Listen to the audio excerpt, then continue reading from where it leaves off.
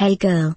Rosie Huntington Whiteley's brother recently made his big debut on the modeling scene, and now the hunky 25-year-old personal trainer is at it again, only this time, he's opting out of wearing shirts.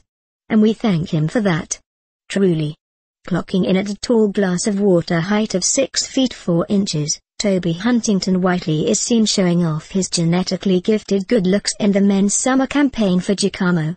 Toby is joined by professional cricketer Freddie Flintoff in the latest advertisements for the chain, which was shot in Mallorca just a few weeks ago. Toby took to Instagram to share some behind-the-scenes pics from his travels including one beautiful oceanside pic as well as a sunset shot.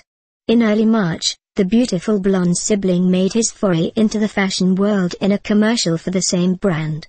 Martin Roberts, the head of buying for Jacamo, previously said, Jacamo is about offering men of all shapes and sizes a choice of fashion that fits, regardless of size.